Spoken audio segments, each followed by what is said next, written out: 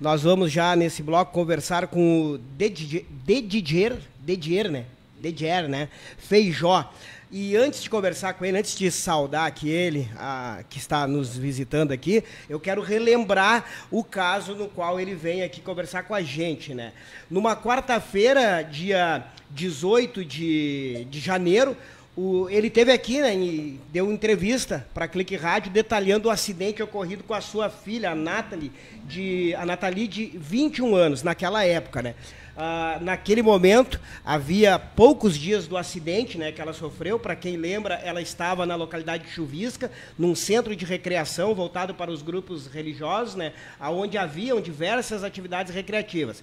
Ah, segundo ele, a filha havia realizado um passeio de pedalinho no momento do acidente. Né, e ele também relatou né, que ah, que a Nathalie estava no lago dirigindo o brinquedo aquático quando avistou ah, no centro do, do local um fio de luz na altura das mãos. não estando né, em posse de seus óculos e com a visão baixa, a menina tocou o fio, recebendo a descarga elétrica. Né? Daí depois tem toda a história. Mas ah, nós Estamos aqui recebendo o, o, o Dedier Feijó.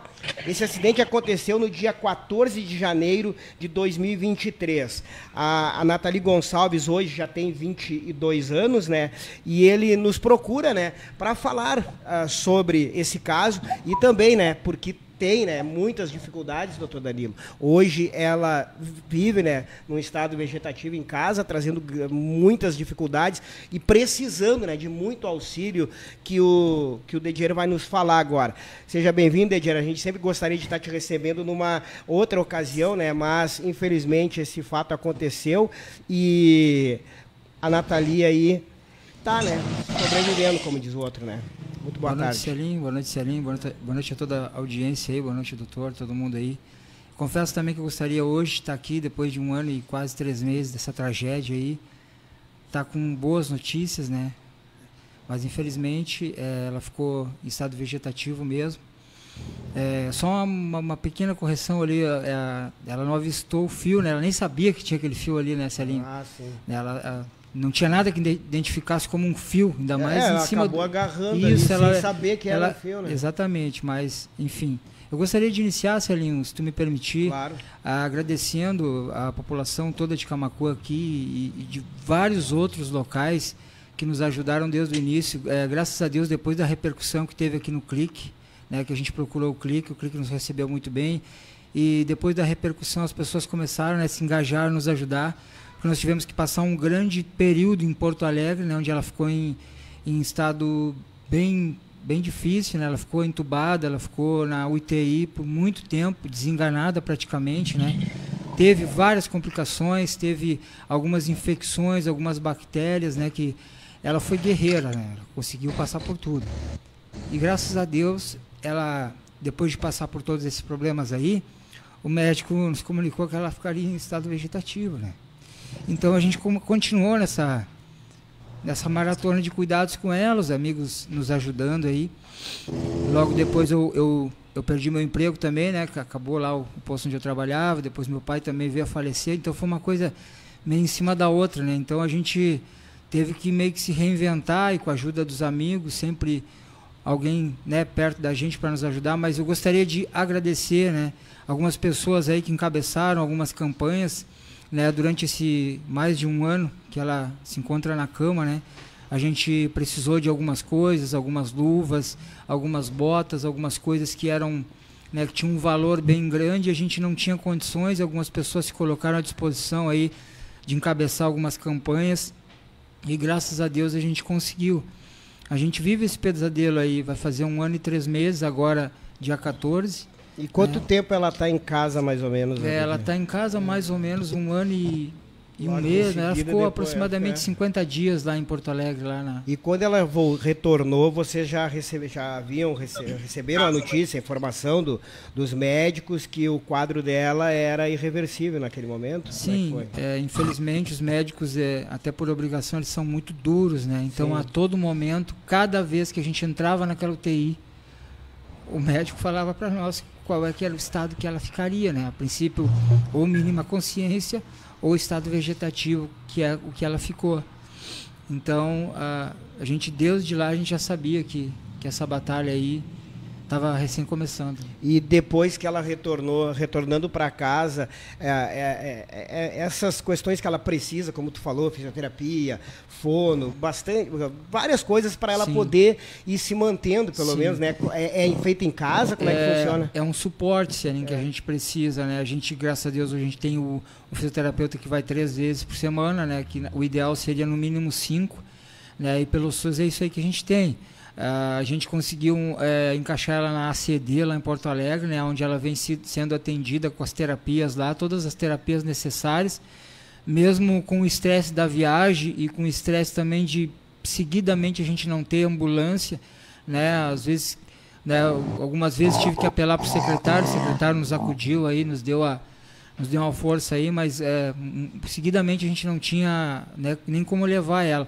E ela lá na CD ela teria que, ter, que atingir algumas metas né, na, na parte neurológica para que ela pudesse continuar. Infelizmente na parte neurológica nós não tivemos é, muitos avanços significativos. Então agora essa semana ela está tendo alta lá da CD e a gente vai começar a se virar aqui em Camacuã, batalhar por, por essas terapias para ela. Né? É, é, fisioterapia ela tem, mas tem que ter mais dias. mais. Fonoaudiólogo, que é muito importante para a deglutição, porque ela não consegue nem engolir a própria saliva, né? Então é muito importante o trabalho da fono, a TO também. Então são vários profissionais que a gente precisa para ela, para ela ter um mínimo de, de conforto, né? um mínimo de, de suporte, para que a gente continue nessa espera. Né? A gente sabe que vive à espera de, de mais um milagre, né? Ela ter sobrevivido já foi um milagre, depois de quase 20 minutos, né, praticamente sem vida. E agora a gente vive essa espera, né, de mais um milagre para que ela pelo menos comece a se comunicar com a gente. Já seria uma vitória. E hoje vocês necessitam de sempre ter alguém junto com ela, sempre Sim, ter alguém junto. É, Celinho, essa é outra batalha que a gente tem também, né? Ela mora comigo, sempre morou comigo e com a madrasta. A mãe dela nos apoia também na parte da tarde, nos ajuda também na, nos cuidados dela na parte da tarde.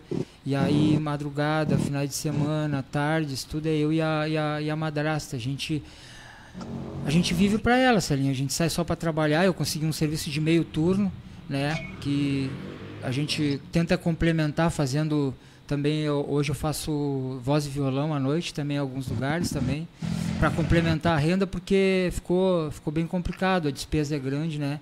A gente gasta muito com fralda e medicamento né? A gente é, realmente proporcionar o melhor para ela é é bem bem difícil e tu falastes aí no início, né, que, que nesse primeiro momento muitos já ajudaram, né, outros certamente ajudam ainda, mas na, na, questão do atendimento dela, hoje seria necessário que ela pudesse aumentar a carga de fisioterapia, né? A, a, questão da fonoaudióloga, né, também, né, Sim. né, para ela ter esse é, é essa, essa, esse acompanhamento, né, para poder ir desenvolvendo uma melhora. Mas também é lógico, né, ah, de, que toda ajuda sempre é bem-vinda, né? As pessoas Sim. que quiserem, sentirem de ajudar aí também é, pode procurar você. A gente está né? aí com algumas, alguns amigos, né? A gente está a gente está começando agora, graças a Deus, com a ajuda dos amigos, do pessoal aí, uma, uma terapia alternativa aí que é para questão de dores, para ela relaxar, ela é muito tensa. O, os neurônios começam a mandar informações erradas e ela começa a se contrair demais. Ela puxa os bracinhos para o peito, a mão vai dobrando, o pé, o pé vai dobrando, então ela está ficando muito judiada da cama e, e ela expressa dor, né? Então a gente se preocupa muito com isso. A gente a gente está procurando uma, a gente conseguiu agora uma terapia que é com medicamento bem caro e que está rolando aí. Alguns amigos colocaram na, na, na, inter, na, internet, aí no Facebook, uma vaquinha aí para ajudar a comprar o medicamento. A princípio nós íamos levar ela lá no Uruguai, e até por falta de conhecimento, a gente não sabia que tinha alguns profissionais que, que atuavam nessa área. E a gente conseguiu, né, um profissional que prescreveu a medicação e a gente vai começar a comprar agora para o suporte, para ter uma qualidade melhor de vida. A medicação dela, a princípio, a, a, a, na, na, parte, na grande parte, acaba tendo que ser custeada. Sim, a gente, a gente compra praticamente tudo, né? ah, aquela coisa de, ah, tu entra no fórum, mas aí tu vai lá, te dá um monte de papel, aí daqui a pouco muda algum medicamento aí. E ela não pode esperar. a gente não pode esperar, então a gente está custeando. É, esse novo medicamento gira em torno de 500 reais o vidrinho. Né? A gente, graças a Deus, a gente já tem um dinheiro suficiente para começar um, fazer uma boa parte do, do tratamento, para ver como é que ela reage, o médico vai ajustando. Porque é isso que eu te falo, Celinha, a gente busca agora para ela é um conforto maior, né? Tudo que a gente puder fazer para beneficiar e, e ver ela né, o mais bem possível, a gente vai fazer, né? É isso aí. É. Bom, é complicado, né, doutor Danilo? Uma situação que, que, que era para ser um momento de descontração, de diversão, né? Que todo mundo uh, faz e tem direito, né? E se tornou num grande pesadelo, né? Claro que o maior pesadelo para ela, né? Com, com 21 anos na época, que hoje vive nesse estado, mas a gente tem certeza e sabe que atinge a todo mundo, atinge a, a, família. E a gente não mundo. sabe o que ela sente. Né? É, Esse é perguntava é para ele aqui como é que era a questão uh, dela. A gente né? acha que ela não sente é, nada, mas é. deve sentir muitas com coisas certeza. que a gente não imagina. E realmente é um para ela é terrível, para a família igualmente não tem. E esse fato aconteceu na Chuvisca? É, na verdade, a gente não, a gente sabe que é numa localidade no interior da Chuvisca, Isso. né? É um sítio, né? A gente ficou particular, sabendo. Particular. É um sítio particular que foi adaptado ali para para algumas atividades de recreação, né? Um, sítio era alugado, né? Para algumas igrejas, né? Nessa nessa época foi locado para para eles irem até lá, passar o dia e infelizmente, né, acho que por falta de conhecimento, e que nem eu digo desde o início, né, a pessoa não vai botar por gosto um fio para fazer uma maldade, mas a pessoa, né, assumiu o risco, né? É, não, não colocou. E, é... e eu não sei se tu quer comentar ou não, fica à vontade, mas se tu quiser, como é que está sendo, como é que foi, como é que é a assistência do pessoal lá do local pois é, que isso que eu ia perguntar. É, é, é, a gente a gente esperou por muito tempo depois da repercussão do clique, a gente te, entrou em contato uma terceira pessoa, né? E que se dizia falar pelo pessoal lá. É, uhum. no, no, começo, é, até fez algumas ajudas, algumas pequenas ajudas financeiras, né, durante um mês, mais ou menos um, uma vez por, por semana. Essa terceira pessoa que falava pelo pessoal do sítio fazia algum, né, um pix lá de, de pequenas quantidades para nós, para nos ajudar. E a gente, como naquela, na, naquele momento era um momento crítico, onde a gente não enxergava um palmo além da, do nosso nariz, a não ser a Nath, a não ser aquela situação de, de na iminência de perder ela a qualquer momento, a gente não pensava em nada disso. Mas o tempo foi passando e a gente viu que o pessoal hum, jamais nos procurou, né? A gente precisa, é, é, a gente precisa de muita coisa. Eu preciso dar uma estrutura melhor para minha filha, Celine preciso melhorar, eu não tenho condições, mas eu preciso fazer um banheiro adaptado para ela, eu preciso aumentar o quartinho dela para a gente poder locomover ela com a cadeira. A gente precisa, e, então. E tu contava aqui para nós, a gente olha agora também, né? Hoje ela pede para que, por exemplo, doutor Danilo e Rato, que está nos acompanhando, a, a alguma fisioterapia um pouco a mais do que ela já tem, né? E ela estava há pouco tempo de se formar fisioterapia. É, ela estava tava cursando, né? Estava cursando, né? Estava cursando no caminho, né? Com, muita, com muito sacrifício, a gente é pobre, né? A gente não tinha condições de pagar, ela estudou bastante, né? Fez Enem lá, conseguiu começar a faculdade dela, trabalhando, deu de cedo, Celinho, sai às 5 horas da manhã para trabalhar na padaria, para trabalhar e, e, nos ajudar em casa também, nos ajudava com o irmão dela também, porque a gente sempre trabalhou demais. Eu sempre, muita gente me conhece, Camacô, trabalhei com a turma do Tili muito tempo de, de garçom. Então um grande abraço meu amigo Tili, que está sempre com a gente, sempre nos ajudando, sempre que a gente precisa dar um grito, o Chile está nos ajudando. Então, sempre trabalhei em dois, três serviços, né? Madrasta também sempre trabalhou para ajudar. Ela trabalhava. Hoje, meus outros dois filhos mais velhos também trabalham. Então, a gente é, a gente é trabalhador, a gente sempre trabalhou desde o início. Né, com muito sacrifício, ela estava feliz porque estava fazendo a faculdade dela, estava planejando o casamento dela, seria agora em novembro desse ano. Então, foi, foi realmente a gente vive uma tragédia, sabe? A, noite assim é, é bem difícil. Hoje eu faço terapia também, porque é bem pesado, cara. É, não, é, é, é, com certeza a gente só, na verdade a gente não tem nem ideia, né, da, da, da, da, do que vocês passam hoje, do que a família passa, né, porque é complicado, é complicado. Mas, uh, de, uh, quem quiser ajudar, quem quiser colaborar, aí pode entrar em contato se tu quiser deixar aí um número, que a gente sabe que o, o, o, o, brasileiro por si só ele é solidário, né? ele é solidário com certeza e a gente sabe, né, como tu bem disse, né, é, é uma batalha atrás da outra e é uma coisa que é constante, né? É. Sim, as, as, necessidades são constantes, né? No primeiro momento a gente buscou fora do país uma luva para ajudar, né, nas, nas mãozinhas dela, uma luva cara, conseguimos fazer a campanha né? Conseguimos comprar as luvas, depois umas botas também, pneumáticas também, a galera toda ajudou. Né? Agora tem a questão do medicamento, então volte e meia a gente precisa de alguns upgrades assim na, na, no tratamento e graças a Deus o pessoal se coloca à disposição nos ajuda. A gente não vem ali pessoalmente Sim. no Face pedir, sabe? A gente sempre até até agradeço a Deus por isso, sabe? A gente não tem a necessidade de vir a pedir. Sim. As pessoas se colocam à disposição e ficam sabendo e, e, e começam, não, a gente quer ajudar, a gente pode fazer tal campanha, a gente pode. Então a gente é muito grato a essas pessoas e agora está rolando uma uma campanha para esse tratamento alternativo. Até é. tem algumas coisas na, no Facebook aí. Depois eu vou pedir, depois quando o Pablo for, eles foram fazer essa reportagem, enfim, fazer essa, essa, essa matéria também, para colocar ali o endereço da, da, da, da vaquinha, uma Sim. vaquinha online, né? É, na verdade não é uma vaquinha, tem, é. ó, tem uma reportagem, assim, um, um videozinho e eles colocaram um número de Pix. Ah, tá, não, a gente coloca Isso. também esse... Não é. sei se tu sabe, decora o número. Não, não. o número é, é 519... 519 94 58 09 71.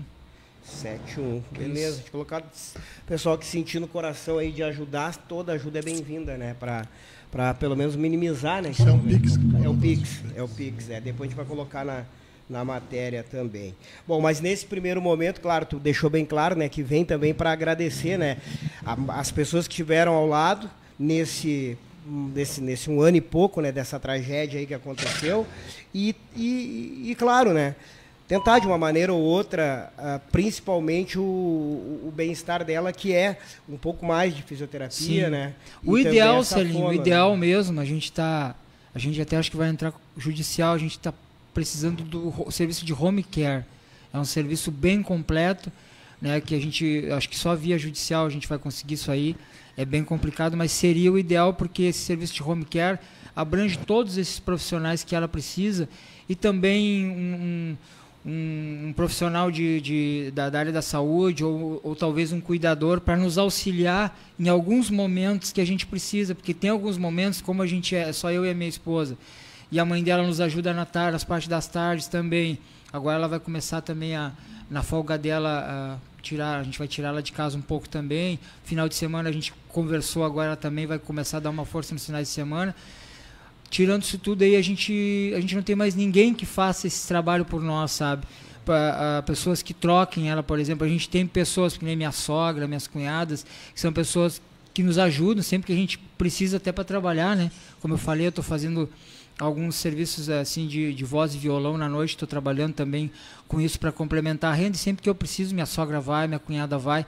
Então eles têm muito boa vontade, mas aí, ah, por exemplo, é, precisa de um. Quando tem que trocar, aquela coisa toda. No esforço elas fazem, elas não Sim, deixam de fazer. Não tem conhecimento. Mas né? é, é, entendeu? Então a gente também precisa de algumas de pessoas para nos ajudar nessa, nessa parte. Então o serviço de home care iria, iria abranger tudo isso, né? Para nós poder também trabalhar, porque a gente, além dos cuidados com ela, a gente tem mais outras, outros filhos, tem o nosso Sim. pequenininho que precisa de atenção também. A partir da tarde eu chego, a partir das 5 é comigo, aí eu atendo ela, eu atendo meu pequeno também, e aí eu vou até, até a hora de buscar a madrasta no serviço, meia-noite, uma hora. Final de semana a gente vira os cuidados também. A, a minha mulher também queria fazer um agradecimento né, a ela que tem sido guerreira, ela, ela faz a parte das viagens também. Às vezes ela solta uma hora, duas horas lá do, do Hotel Bartz, onde ela trabalha.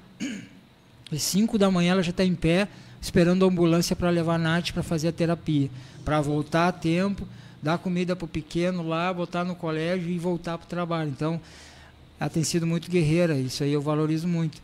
E isso aí não tem preço. E a gente só precisa disso, a gente precisa é, dessas, dessas terapias, né? É, fazer um apelo aí às autoridades que puderem nos ajudar, ou até pessoas profissionais aí, autônomos aí que, que sejam dessas áreas aí, que a gente precisa é, de um atendimento médico em casa, hospitalar em casa para ela. Sim.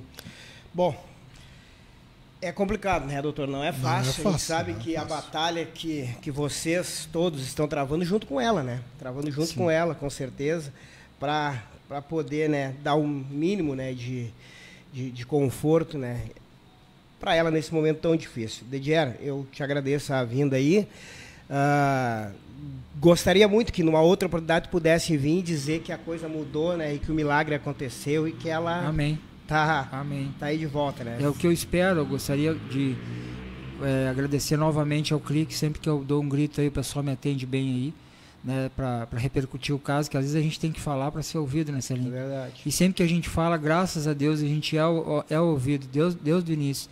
É como eu te disse, eu gostaria hoje estar tá, tá te contando uma história feliz, né, mas Infelizmente, é, é, o que aconteceu, é o que a gente tem que encarar agora. É, é difícil, é, é, praticamente insuportável a situação, né? É uma dor. E olha que a pessoa que está, né? A tragédia se, se aconteceu com ela, né? E eu posso imaginar, na verdade não posso imaginar o que ela está sentindo, mas o que eu estou sentindo, a dor que eu estou sentindo, já é desumana. Agora imagina ela, o que, que ela está sentindo, né? Então, é. a gente agradece o clique, agradece a todos que nos ajudaram aí, que nos enviaram Pix, que eu vejo ali, que entra ali. Meu muito obrigado a todos. Muitas pessoas que são até anônimas, a gente não conhece. Vem contribuição de alguns amigos lá de Jaguarão, lá da minha terra, de, de vários lugares aí. Então é isso, Celinho. Muito obrigado aí pela oportunidade e uma boa noite a todos. Conta sempre com a gente.